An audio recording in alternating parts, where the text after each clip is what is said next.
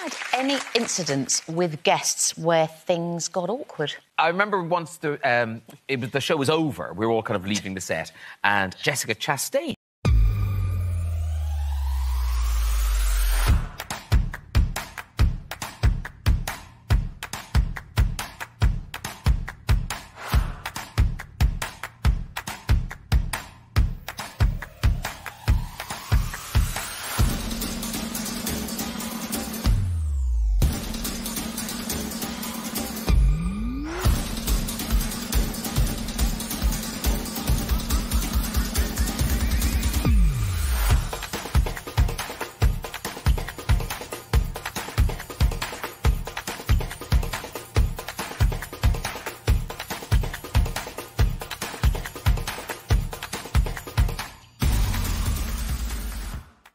was one of the guests, and she was in a film that we were going to be talking about the next week because Tom Hiddleston, I think, was in it. And I went, "Oh, Tom Hiddleston's on next week for that film you're in," and she went, "Oh, I'm so bad in that."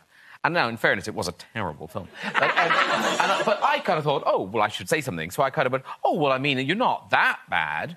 And she went, I play a bad person. Oh. I, it's like, you can't really backtrack now. Because I.